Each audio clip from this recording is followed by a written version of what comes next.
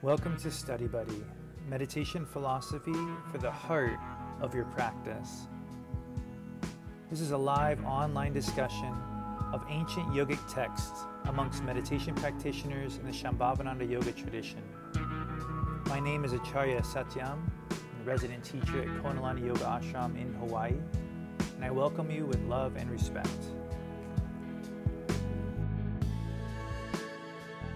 Hey everyone, being here.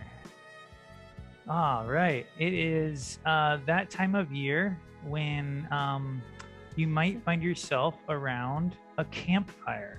And um, it's getting to be that time of year, right? Not out here in Konalani. Here, our campfire is um, the Yagya.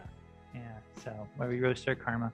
Um, but tonight, in tonight's sutra, we're going to learn the secret of being the best fire tender, about keeping the best well lit campfire going in our hearts in order to grow in the most virtuous possible way, in order to grow the most uh, in our day.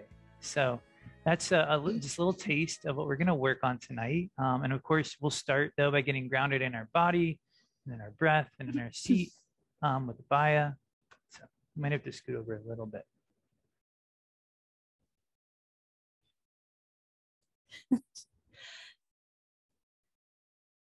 Hi. Uh, take a moment to um, start to wiggle in your seat a little bit and feel your shoulders rocking back and forth. Your head can gently bobble. And imagine with this little gentle um, movement that tension is starting to slide off of you. You might even feel physical tension release as you give yourself the opportunity to relax and melt. And then as the mind relaxes and melts, maybe some bigger chunks of tension can start to fall away from the body. And then come to stillness for a moment, and maybe you can even still feel that little rocking, kind of like after you get off a boat and you still feel the sea beneath you. Take one shoulder and start to very gently roll it up and back, not full range of motion. We want this to be gentle. And then the other shoulder. Bring your awareness underneath your shoulder blade on the back of the body and see if you can just visualize it sliding gently up and down the rib cage, giving the back of your heart a little massage. That looks really nice, Nanda Devi. We can copy her and let our head start to follow that movement, turning from side to side, if that feels good. And then gently come back to center. Allow the shoulder blades to relax completely. But notice if there's just a little extra support underneath the shoulder blades where they connect to the ribs. Release your hands down to your sides and turn the palms face out. You can't see my palms, but they're face out. With those same relaxed shoulders, start to reach the hands out and let this be as weightless as possible. Perhaps the arms stop at a T or they can keep going if that feels nice and there's no tension in the tops of the shoulders when you do that. And take a natural breath here and imagine you're like a little kid and you're really excited about something. Let your heart open, sparkle your fingers a little bit. And gently start to gaze up, letting the whole front of the body expand. And then bring the hands together overhead and draw them to heart center. Take a breath at the heart and Imagine all of your focus dropping into the center of the chest. Watch your next couple of breaths from the heart. And then we'll do all of that just one more time. So relax the hands down and start with the back strokes with the shoulder blades and notice if it feels a little more natural. The movement can be a little bigger this time if that feels good, but it doesn't have to be. And then come back to center, soften the shoulders and feel any spaciousness in the shoulder joints. Release the hands to the side, flip the palms, and gently start to reach the arms out, letting them weightlessly float up any amount. And then pause at the top of whatever feels comfortable and spacious for you. Take a couple of breaths, getting more expansive. And then hands come to touch and let everything sink down into the heart. Drop the hands into the lap or whatever is comfortable. And from our heart center, we can begin.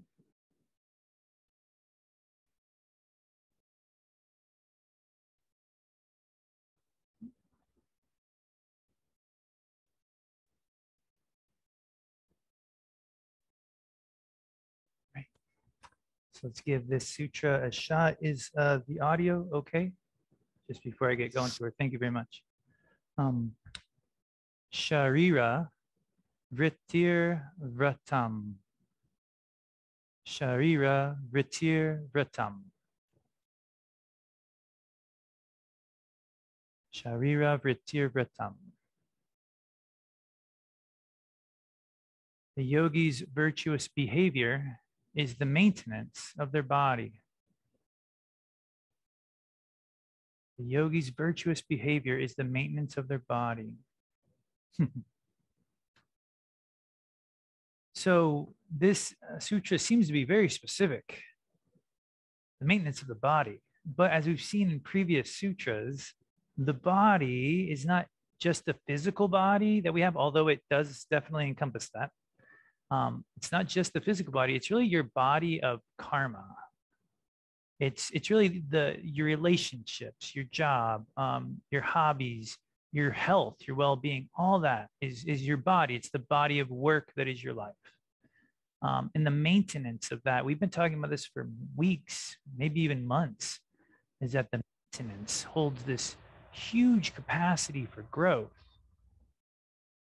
that when we start to actually invest in that maintenance phase of our practice, we see tremendous returns because you're actually investing in the bulk of your practice as opposed to just starting like a new practice, you know, as we know. Uh, uh, a lot of one foot holes dug maybe don't ever find water, but one dug really deep uh, finds it, as we've been told, you know, by Babaji numerous times. And so, an analogy that's used in this sutra that I was really excited about, it's not, a, it's, it's a, it's a familiar analogy, um, is that of a fire. And we are shown this quote just as flames, maybe it is plural, just as flames, are, uh, just as a flame arises out of kindled fire and gets dissolved in the sky, so also Atma, the self, like a flame having burnt down the fuel of the body, gets absorbed in Shiva.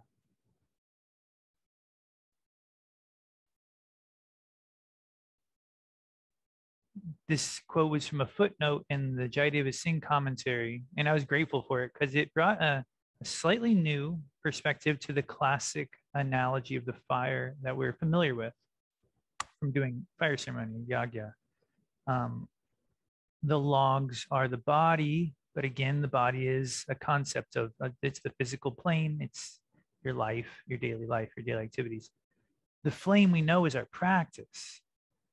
And what I really enjoyed about this expansion of the metaphor um, was that Shiva is the sky.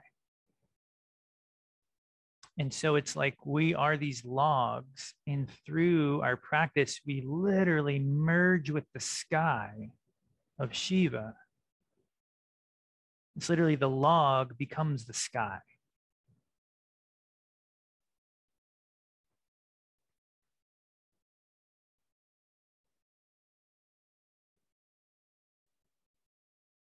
And this uh, sutra in particular is, is focusing on this concept of virtuous behavior.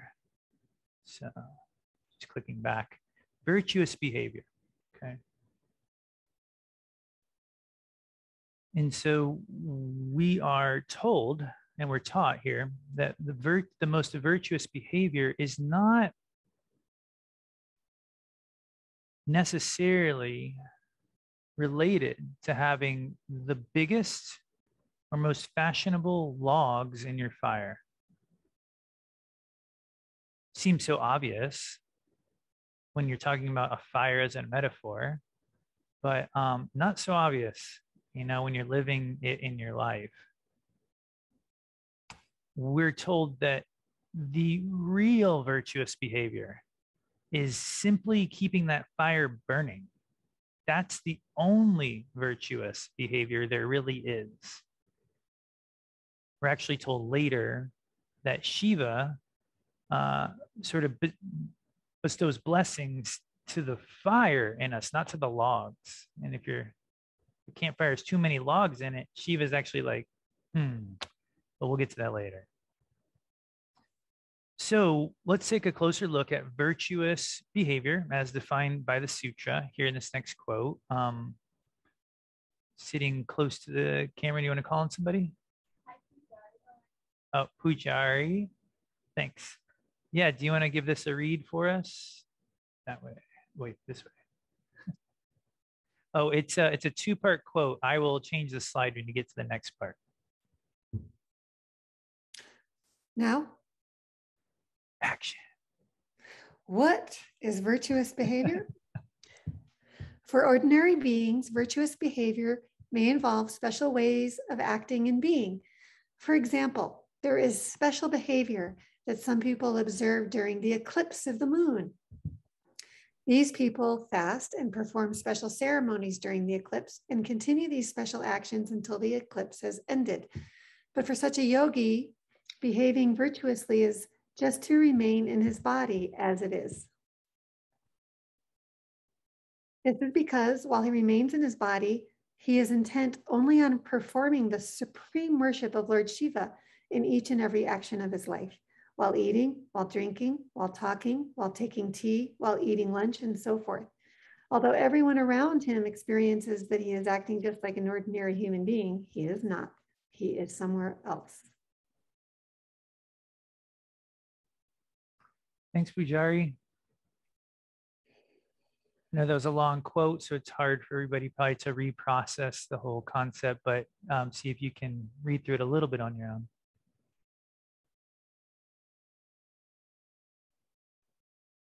And um, I apologize. I usually have time to go back in and change the he's for theys. Uh, I did not have time today, and I apologize. But just assume it's obviously talking about us all.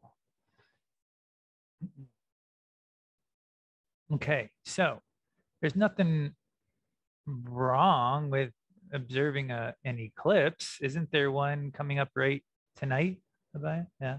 So that's fun let's all watch the eclipse tonight. No, shouldn't miss it. Um, but in the terms of the sutras, oh, did I see a hand? Or oh, it's just right out there. Oh, is it like happening mm. right now? No, I don't know. I, I, I I'm not sure. Okay, but um, so yeah, enjoy the eclipse. But I, you know, what the sutras might be recommending to us is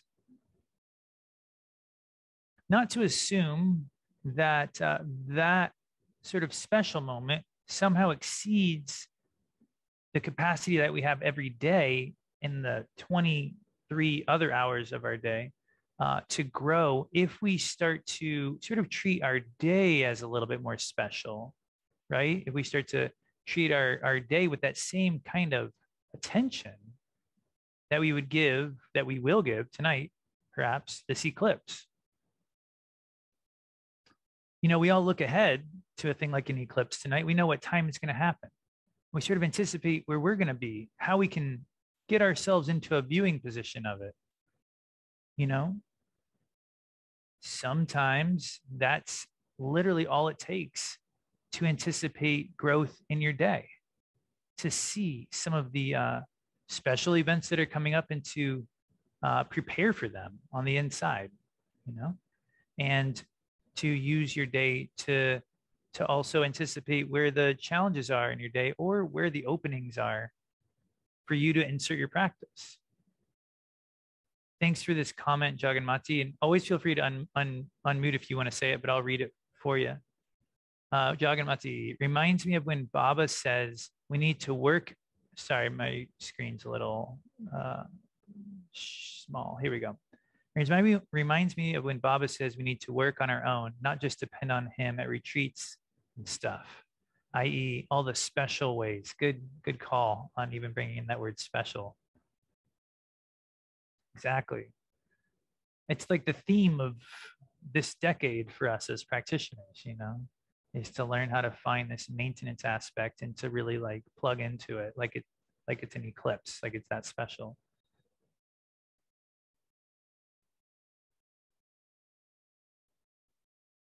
And it ends by saying, um, just click over for you all. It appears to the outside world that this yogi is merely going through their day, uh, but that is simply not the case. Um, the analogy of the fire comes up again in the sutra and saying, the logs are on the ground, but the flame is in the sky right? So we're we're performing our actions, but our awareness is up here. Now, the, the challenge presented by the sutras is, is simply that sometimes when we get caught up in the logs and we forget about the importance of the flame, um, the fire gets smoky, the fire smolders, it sort of goes out. Um, and we're actually left with a pile of logs and we don't even have a campfire at all. And one more quote here about that. Oh, Natarajani. Okay, could you hear? Cool. The wise man is always marked with higher modes of yogic poses that arise from the body i.e., while the body is retained. He alone is the real holder of yogic poses. The rest, who only maintain certain gross poses of hands and the body, are only holders of bones. so awesomely cryptic. Thank you, Natarajani. Holders of bones. That's really great image. Oh, we, you, oh. So without our practice, even the, the finest logs in the world really don't amount to much. They're just a pile of logs.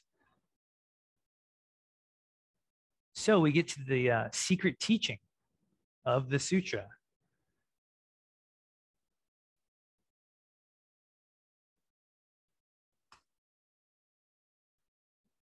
How to maintain this fire. So if you've ever been in charge of the yagya uh, at Shoshoni or, you know, one of the ashrams or, you know, you know that you'll be sitting there uh, doing the mantras with everyone, maybe even like leading the mantra. Um, and simultaneously, you're watching that flame and you want to keep it at just the right quality.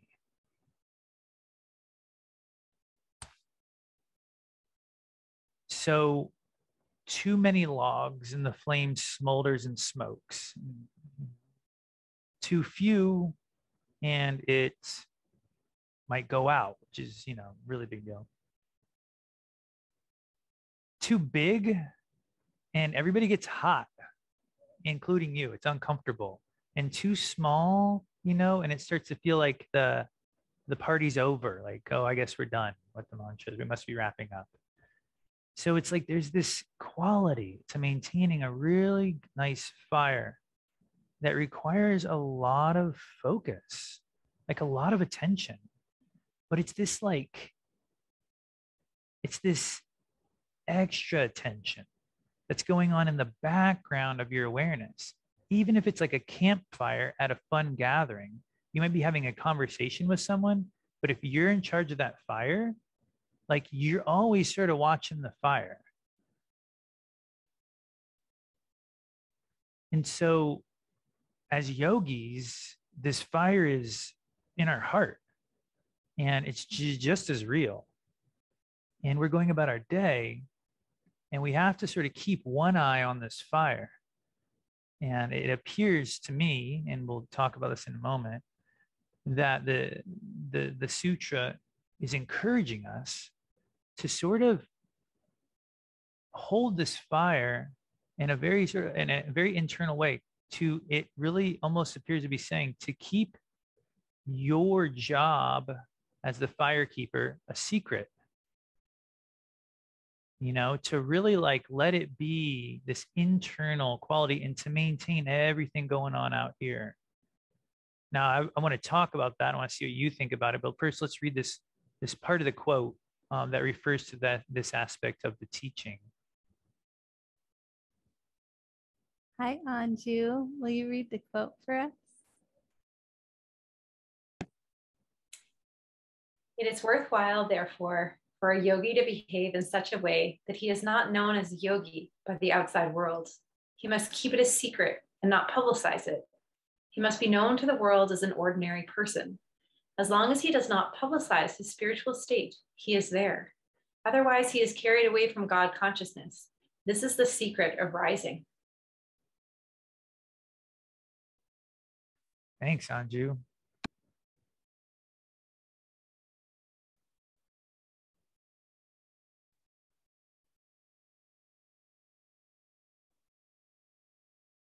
Why must we keep our practice a secret? What power could that possibly imbue our practice with? This is the topic of tonight's free write. So um, hopefully you have your pen and paper nearby as always. This is regular thing. If you don't, maybe next time. Uh, it is fun to, to write in the air with your eyes closed and to visualize your words. It almost works as good. All right. And so we will uh, transition to that just a couple of minutes. I'll I'll tell you when we're getting close. So it's going to be about three minutes. Um, so I you might have already started writing, which is totally fine.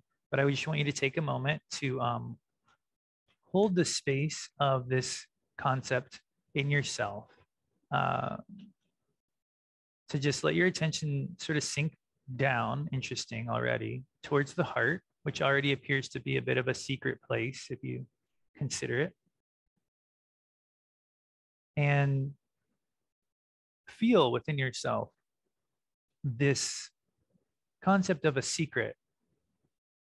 A secret means that you are in two places at once. It means that you see this reality and you simultaneously have knowledge of another reality. That's the definition of a secret. And that you're holding both of those realities within your being. In this very moment, there's a reality in front of you in the form of this class and the room that you're in and the life outside this room. There's a big reality happening. Simultaneously, right now, we're trying to feel the other reality in our heart that is able to use this exact moment to find Shiva as a flame burns a log to find the sky.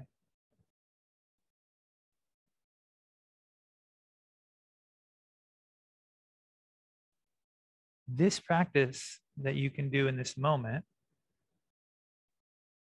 essentially is a secret. No one really knows what you're doing to make this work. We've seen this in the previous sutras. The only the the state itself is the revealer. And so feel within yourself one more moment before we do any writing. Is your practice a secret right now?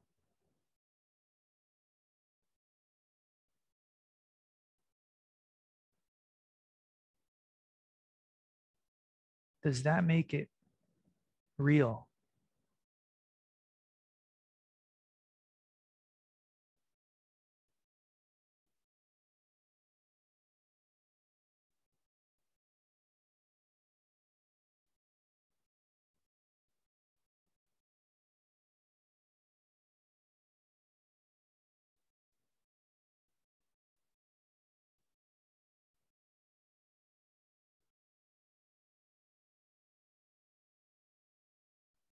And see if you can retain this secret inner state as you simply write about it. You don't have to write anything special. You just start writing while maintaining that secret in your heart.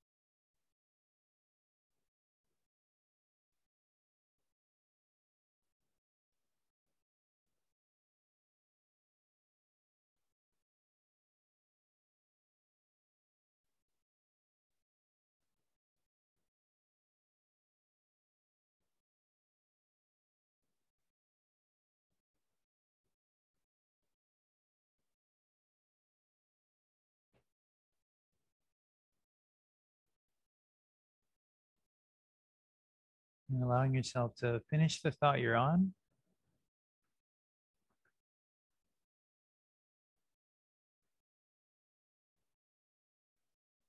When possible, sitting the pen down, taking one breath.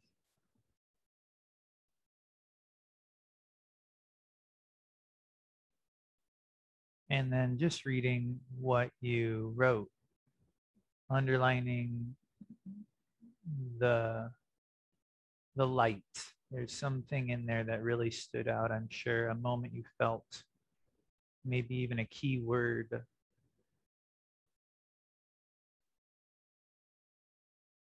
And as we're ready, sharing that keyword in the chat box would be really fun.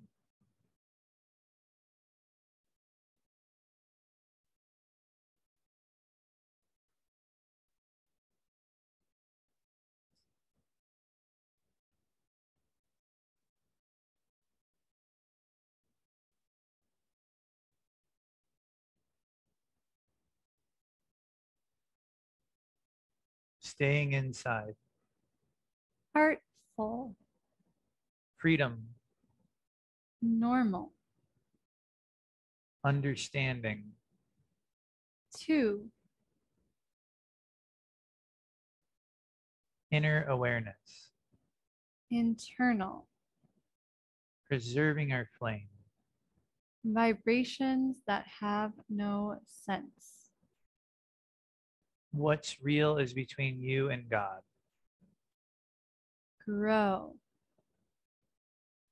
infinite exploration, Forgo. sacred, Anybody here? dream,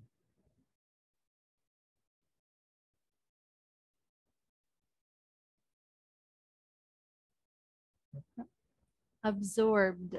Cool.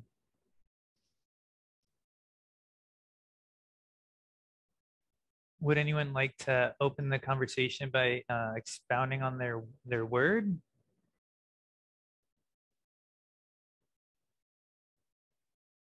That's where you go like this. Can I say something? oh, sure. Uh, Dallin, I, oh, cool. Go for it. I don't see you, but I hear you. That's awesome. Um, well, you have this experience too, living in the ashram and being around Babaji a lot, but it's it's uh there's a quality when you're like around Baba that in when he's not in a teaching situation where you're kind of just left to guess like where he's at you know you you like kind of you're like I, at least i would find myself like wondering like where is he where's he at? If that makes sense. It's not like it's like he's obviously he's not bragging about it and he's not it's it's like there's something internal that's his and it's not for me to know it's only for me to guess at. Hmm. so even though he's known as the guru it's like there's something secretive there Absolutely. And you know, you bring up um, the quote that I opted out of, of putting on. It was at the very end of the sutra, and I just thought, oh, you know, that's that's enough quotes. But the very end of the sutra says, um, even the disciple must not know the depth of their master's realization. The master must also hide their power of spirituality from the disciple. They must absolutely conceal their spirituality within their nature and not expose it to anyone. The disciple must possess and maintain blind faith. This is the manner of the Shiva Sutras.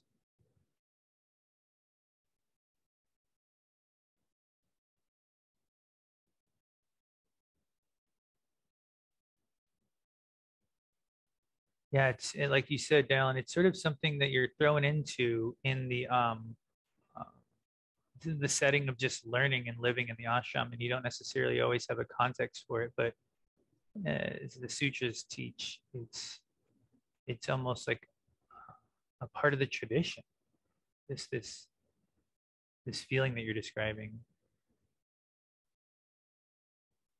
Can I add something? Mhm. Um, Dallin, what you shared made me think of like when we're on the lodge with Baba, and then there's like a few guests, and we're, you know, the Sangha is so connected inside, and it's sort of like we're all in on the secret a little bit. You know, we're doing something externally, like we're maybe listening to Baba talk and turned and facing him, but we're all doing something else internally that's invisible and so i'm i just always like am amazed when there's other people around and it, it feels like oh wow we're all connected to this thing together but it's totally unobservable Mm. um, Sort of like Dallin right now, wherever he is. I'm sure he's looking at us. Just i'm just floating in the ether it feels like that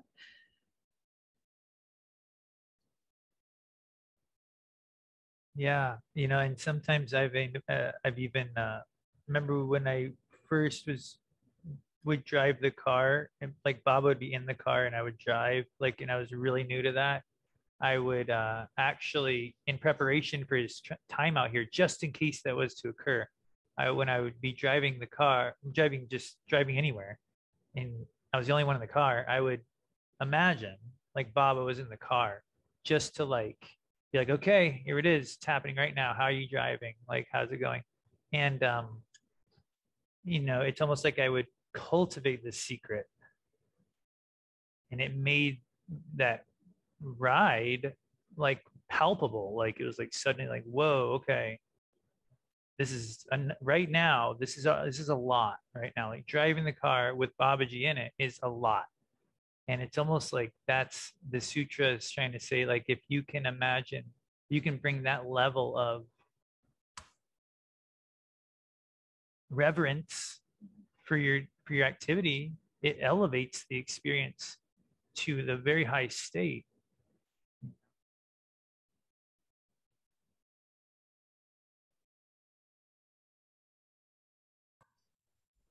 Although I see unmuted. Please. Hey, oh, is that me or somebody else? Uh, go for it. Okay. Um, I was thinking uh, with that quote that I personally, I don't feel like I have any level of attainment to hide necessarily, but I do feel like, um, I feel like I have some responsibility to to share some a bit about yoga to help people broaden their idea of what yoga is usually considered in our culture you know? So i feel like in some way there's something to share you know? Even if it's not that that secret um, so and i also sometimes feel that responsibility of how to approach that so it doesn't I'm, i do not want to preach to anyone or convert anyone but just to to help people know that there's more than just an asana class, that there's more to it than just that.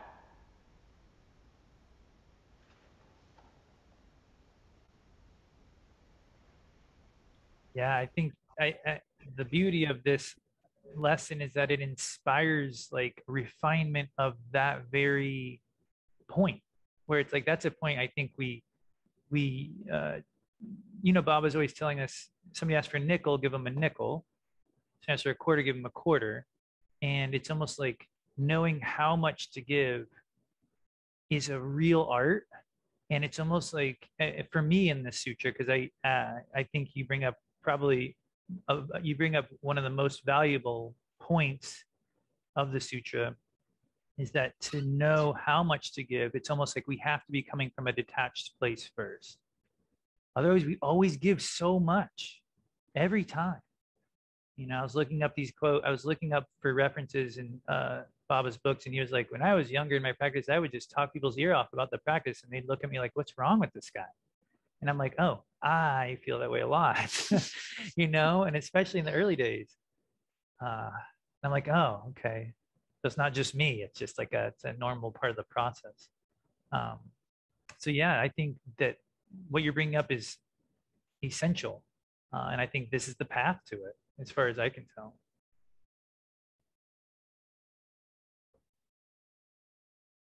Hey, Radharani.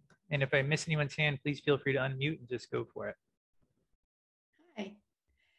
So, um, thinking about, about this and keeping your practice kind of like uh, hidden or a secret. I'm a very um, kind of like quiet and introverted person just by nature. So I tend to not share too much. and I don't think I talk about my practice with anyone. I have friends, good friends that they don't even know that I do meditation. I just have never come up. It's just that I and I sometimes I feel like a little bit like I'm too, you know, like maybe I'm too close. But thinking about it today, it's just and my word was freedom. I feel that it gives me the freedom to not feel obligated to fulfill anybody's idea of what someone who meditates is. Like it hmm. it makes me nervous sometimes if I share something like that. Like everybody has their ideas of who a yogi or a yogi or a person who does yoga or meditation is. And it just I feel like uh, I don't have to fulfill anybody's you know ideas or needs or or judgment about that and that's why i feel like it gives me that freedom i just don't discuss it it doesn't come up and uh, i am who i am and uh, sometimes i feel like that like like people have an idea who you are and they have their you know they project onto you and i feel like nobody's projecting that onto me because they don't know I do it.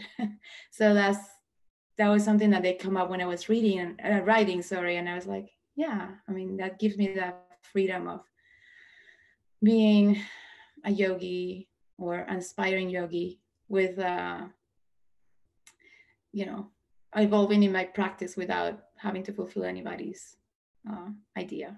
Hmm. and what i feel is like that will distract me from my real practice. That's like the main the main thing that will distract me from going deeper. It's just that feeling of conflict there. I don't know. Mm-hmm. Yeah. I mean in the analogy just like the more we're focused on the logs the less we're focused on the fire there might be like a, an immediate trade-off kind of present in there. And and then you know i i really feel like you know what we're Johnny Ma was saying it's like this balance.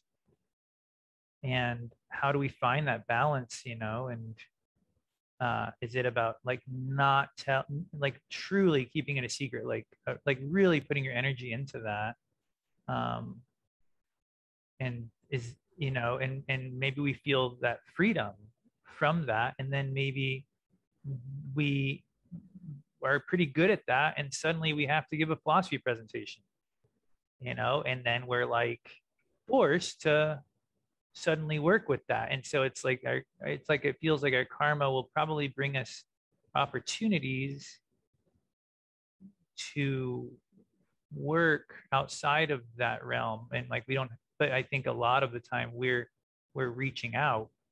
Um, and so it it feels like the sutra is encouraging us to put a little bit more of our energy into this this possibility. And again i'm i didn't obviously write these. I'm practicing them right alongside with all of you.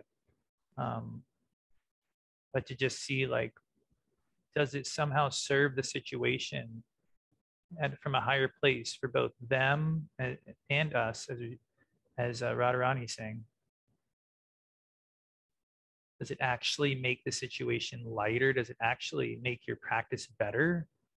Does it actually keep you from having i mean babaji just said in this week's satsang he was like his older maybe it was last week but it's recently his older brothers would be like well what do you think about this? And he'd be like let me get back to you about that. I don't know when i think about that yet. And i was like wow i never thought i could respond.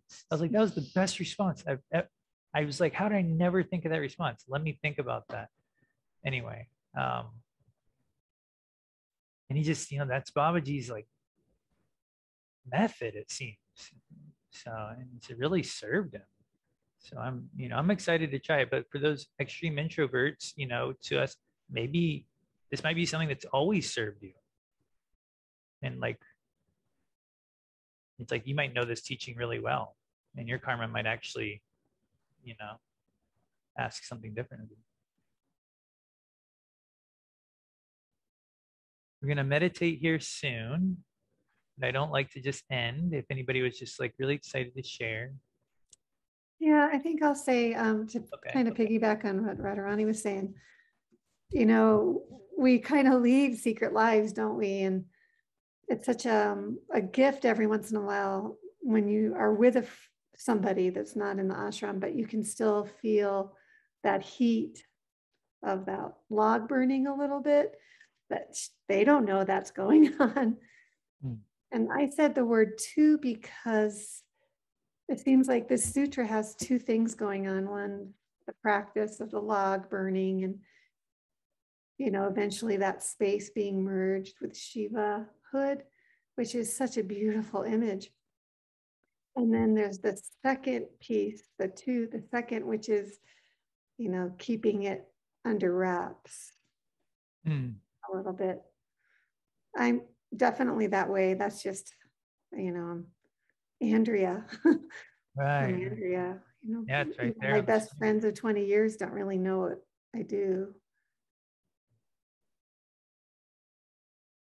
Yeah, and so those two things have a, according to the sutras, have a correlation, right? It's not coincidental. So I feel too that there's an aspect of uh, when I'm thinking of the yogi that they're talking about in the sutra being kind of like an advanced yogi, um, to it's it's such an internal thing and that's the world that they're enjoying and living in. And to externalize it um, takes them can take them out of that place that they're in. Uh, and that's why to me it's like the seva the selfless service of the guru is to share because they're doing it even though it's taking them sort of out of to some degree it takes them out of where they're at to like come out if that makes sense um, to come out and try to connect connect people to that place is like a um, can maybe take that. Even I, I don't know it's like a interesting thing because i've always had experiences teaching too where it makes me reach deeper inside but there's also an aspect of it that uh, i think can be like externalizing when you're sharing it. Um, i don't know. It's kind of Yeah, a it's maybe definitely in- a fine it's definitely a fine line and i think that this class sort of represents how how much work it takes uh, to talk about our practice in a productive way. You know it's like this very class is like it- it's like we're like learning how to do it in a productive way. So yeah it does take a lot of focus and discipline. Thanks dallin. So we can uh, transition for just the last few minutes, and I apologize. Uh, I always try to want to. I want to have the discussion so much, and then I, I know that the meditation is just as valuable. So um, I do encourage if you had another point, please uh, share it on the Marco Polo. I'd love to hear it. And so let's talk. We'd all love to hear it.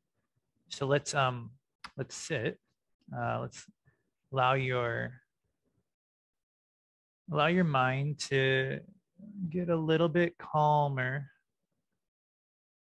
Sometimes, well, if you want to try this for fun, you can just sort of like bring your hand up to your forehead and just sort of draw like a little horizontal line and just sort of calm your forehead right here. And imagine that there's like a pond in your head or a lake and it's really still. This is like sort of the top of the lake there, right where the third eye is. You can just let the hand come down and then try to keep that lake perfectly still on the physical realm.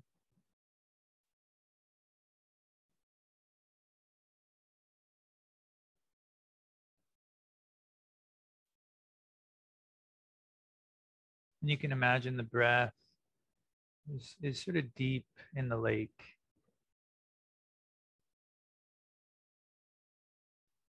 These are the deeper currents way under the surface.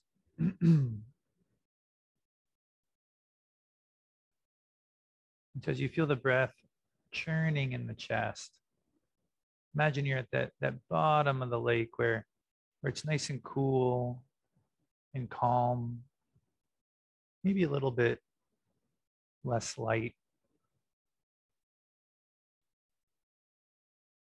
And this is sort of the secret area of the lake. Excuse me.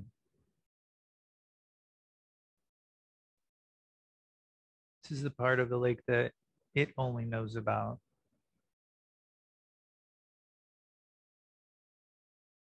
And so try to let your breath flow in through the third eye, swallow occasionally. Let the breath travel down the throat to the heart of this lake.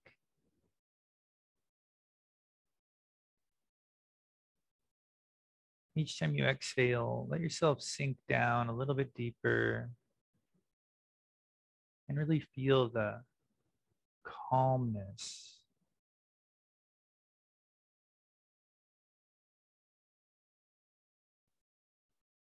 As the shoulders relax, as the body relaxes, your awareness really sinks.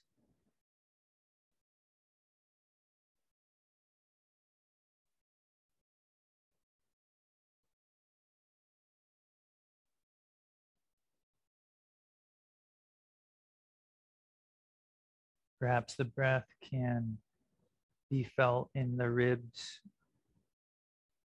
without too much effort, with a very natural amount of effort. Perhaps it can be felt even at the navel.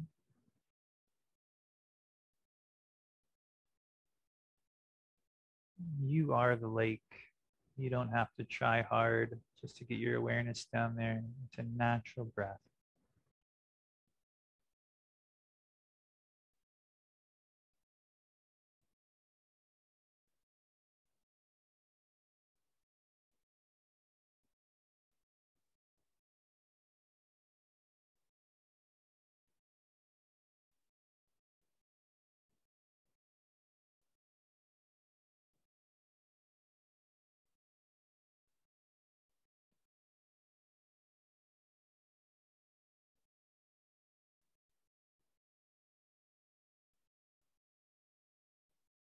Feel how so much of you is below the initial surface of the eyes and the ears and the mouth.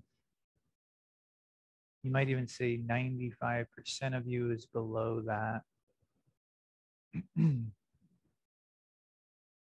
that this 95% is your true being.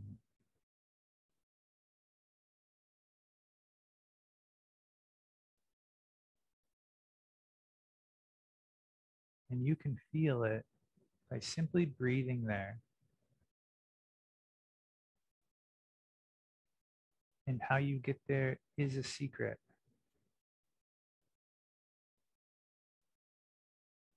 How you go anywhere beyond your mind is a secret. The sutras say no one can truly tell you how to do it.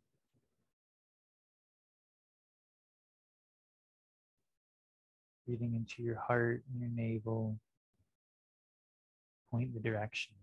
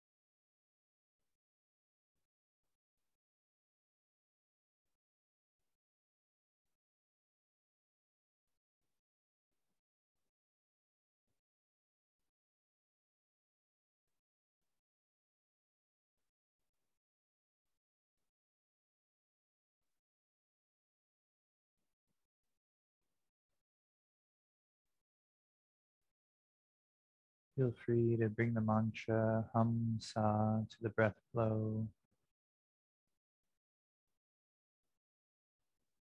Hum as you inhale, sa as you exhale.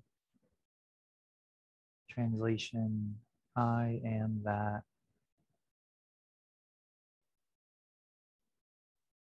I am this being that is below the mind I am this 95% inside.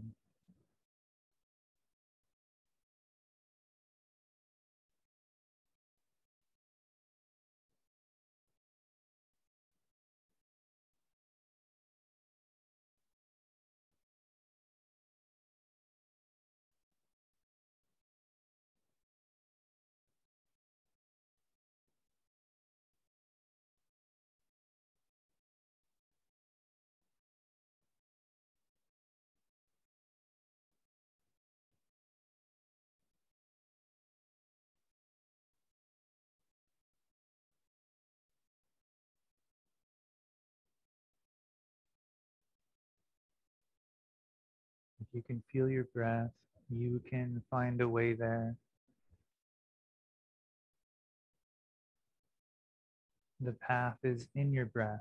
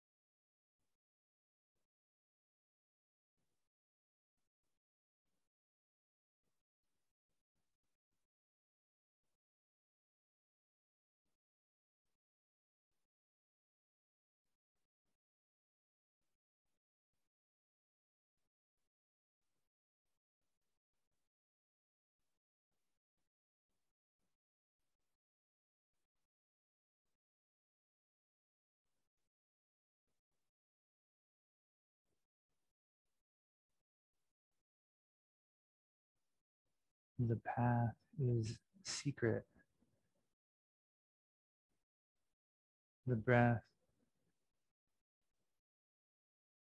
is obvious, but the path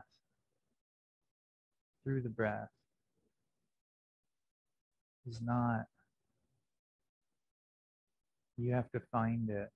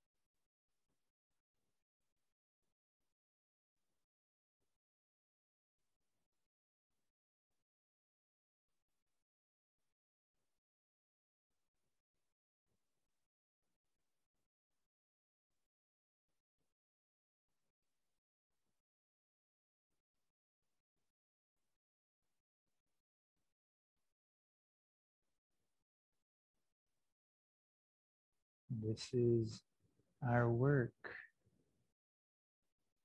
This is your journey.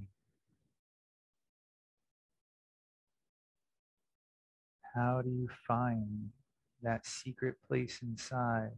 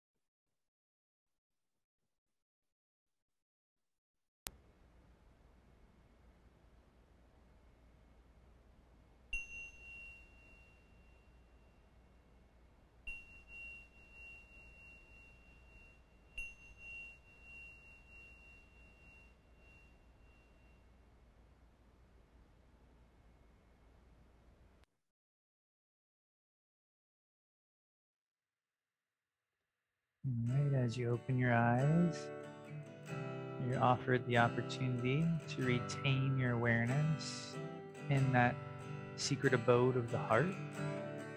Nothing can distract you from it, and it's the highest, most virtuous behavior that we can bring to whatever ask our life asks of us next, even if it's sleeping.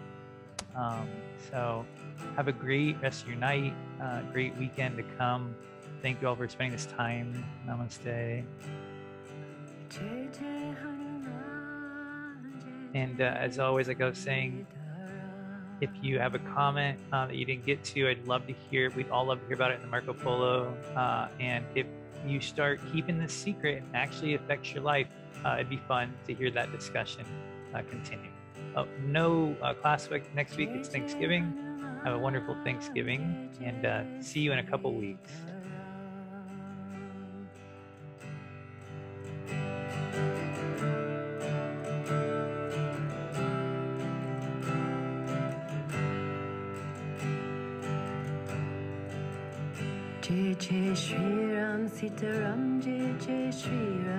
Sitaram Jai Jai Shri Ram Sitaram Jai Jai Shri Ram Sitaram